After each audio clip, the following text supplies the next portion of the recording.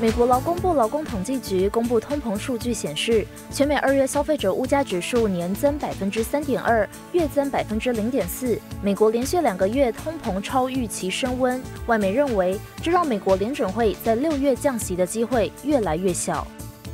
苹果在 iPhone 等自家产品的应用程式平台 App Store 上，周二向欧洲做出了重大让步，宣布软体开发商可以自由直接向消费者发布应用程式。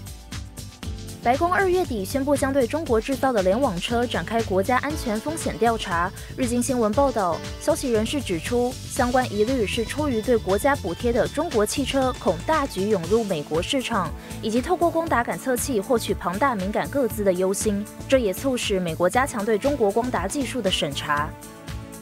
全球半导体系制裁龙头 ARM 重返公开市场，去年九月在美国纳斯达克交易所挂牌上市，最大股东软银集团掌握高达百分之九十的股份，约九点三亿股。三月十三号，ARM 的 IPO 持股闭锁期将结束，软银后续动作受到关注。